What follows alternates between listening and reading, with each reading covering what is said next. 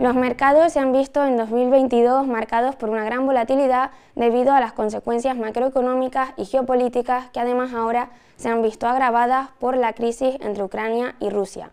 Por ejemplo, el sector textil ha sufrido las consecuencias mientras que el bancario ha sabido aprovechar muy bien eh, esta situación para incrementar su cotización en bolsa.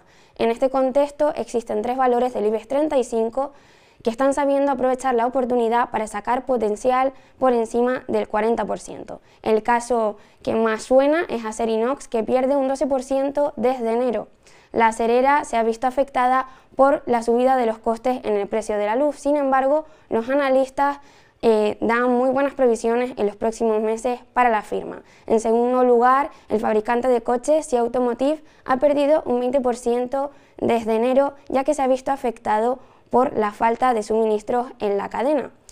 Por último lugar, Fluidra pierde un 28% en 2022.